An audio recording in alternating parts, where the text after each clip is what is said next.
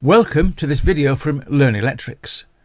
Some time ago I made a video entitled 35 is the magic number and a few people have since asked if there are any other useful numbers that should be remembered and are there any other little number tricks that can be used. When it comes to maximum ZS values there are three such numbers, very useful numbers and these are the numbers 44, 35 and 0.8. I sometimes call 44 and 35 the magic numbers, as they allow you to quickly calculate the ZS values for common breakers without the need for looking things up in a book. Let's begin with the number 44.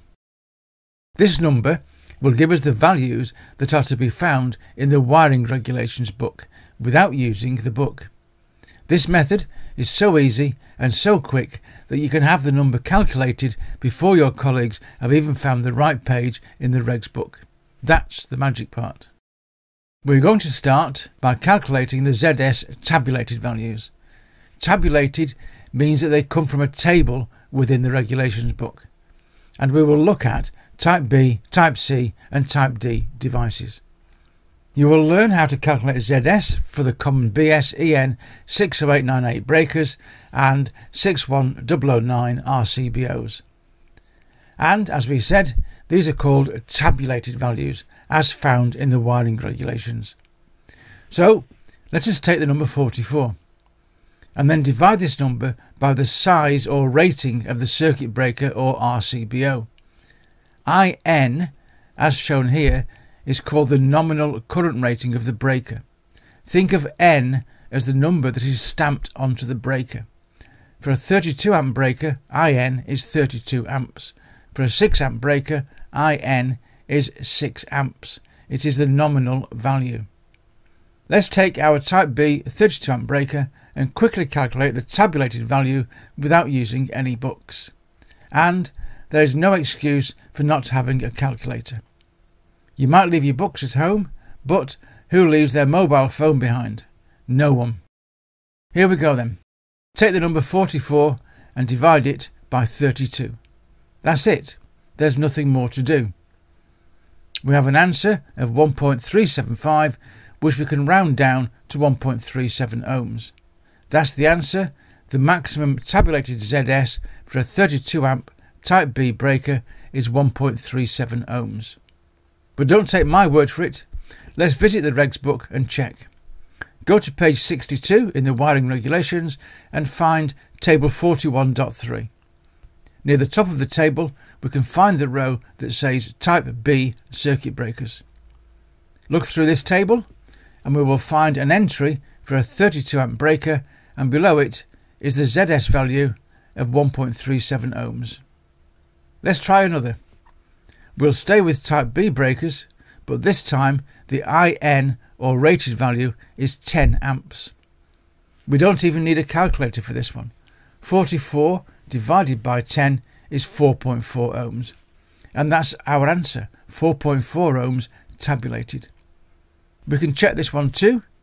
Page 62 again, table 41.3 and find type B breakers. Find 10 amps and below it is the answer 4.37 ohms, which is close enough to our 4.4 ohms. Going back to a 32 amp breaker, as this is a popular size, let's calculate the tabulated ZS for a Type C device. Calculate 44 divided by 32 just as before. Again, we have 1.375 ohms, but now we must divide this by 2 to arrive at our final answer. 1.375 divided by 2 is 0.68 ohms after a little bit of rounding up. So, for a Type C breaker, just find the ZS for a Type B and then divide by 2. So simple. We can check this as well on page 62. Find the row Type C. Ignore the small letter B at the beginning of the row. This can be confusing at first. Section B of the table is for Type C breakers. Now, find 32 amps in the Type C data and the number 0.68 is shown. Now look at Type D breakers. We will stay with 32 amp devices and calculate the tabulated value for a type D. Do exactly the same as before. Calculate it as if it was a type B breaker to begin with. So 44 divided by 32 is 1.375 ohms again, but now we divide by 4 for a type D breaker or RCBO.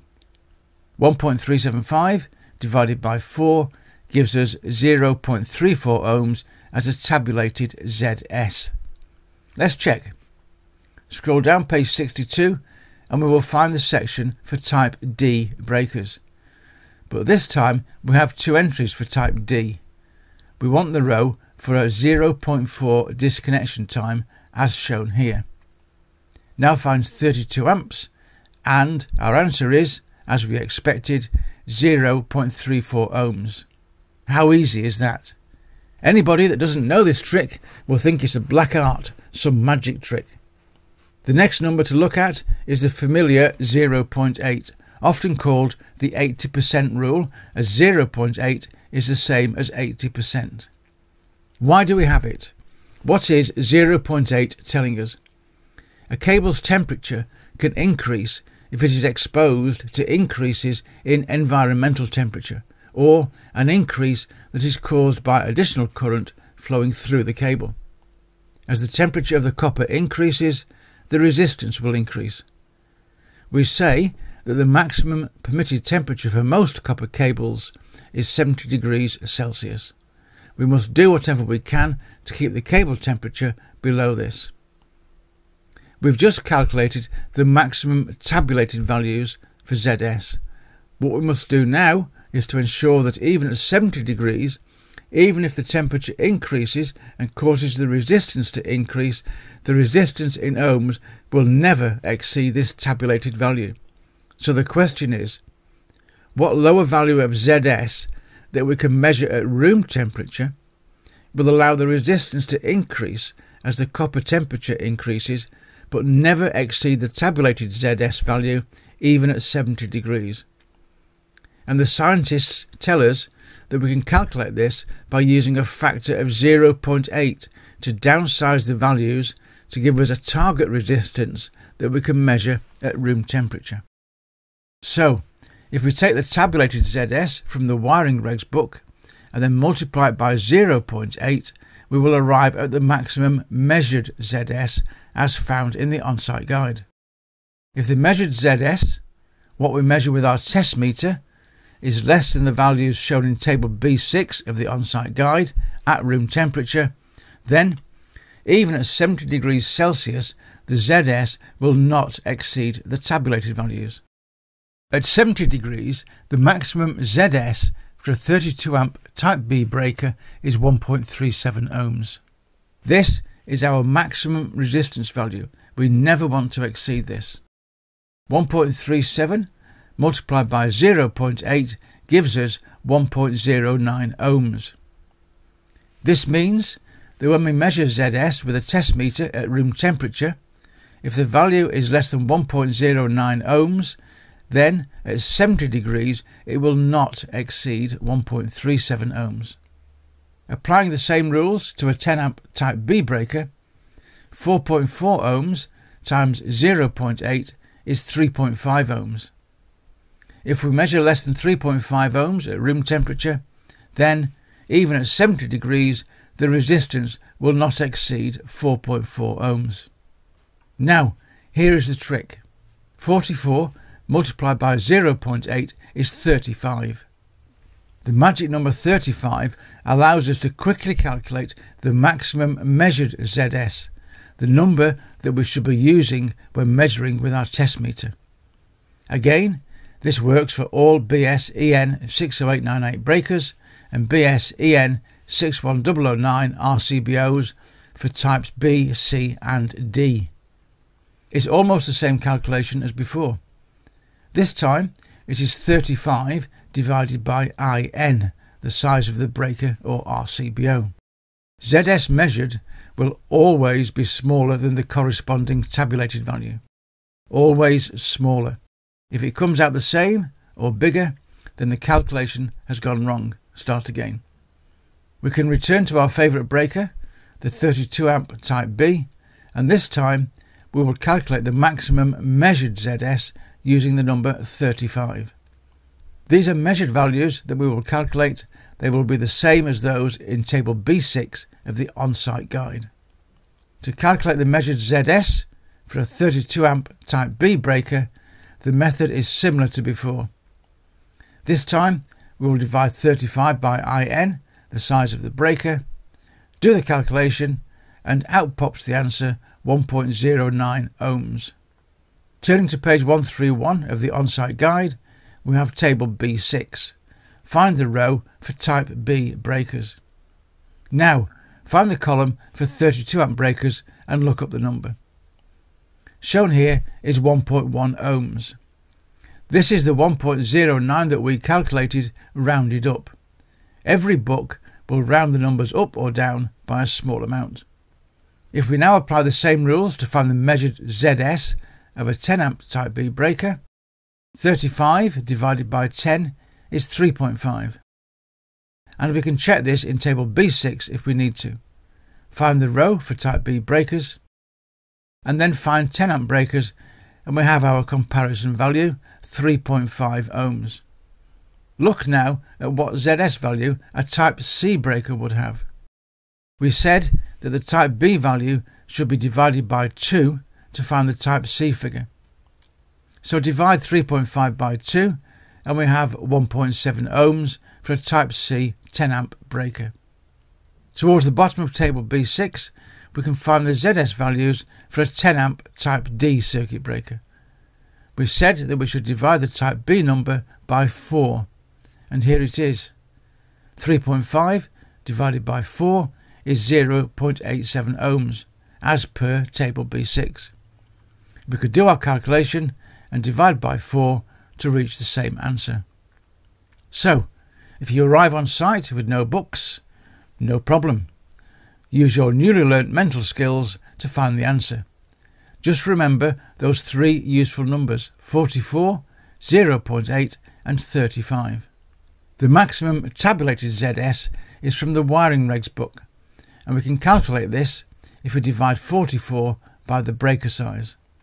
0.8 is the adjustment factor to allow for temperature rises in the copper cables.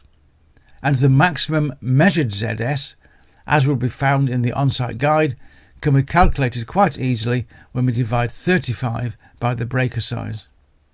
This slide summarises all that we have talked about for a 32 amp breaker, type B, type C and type D. The tabulated values in the upper table and the measured values in the lower table. And another popular breaker size, especially with domestic work, is the 6 amp device. The upper table shows tabulated values and how we achieve them, and the lower table shows measured values. Well, that's it. Hopefully, you have learned how to quickly and easily calculate ZS values without the need for books. When you become good at mental arithmetic and manipulating numbers, you may not even need a calculator. The best way to become good at these is to practice them. The more you practice, then the more it becomes a part of your long-term memory. Thank you for watching this video. It is very much appreciated.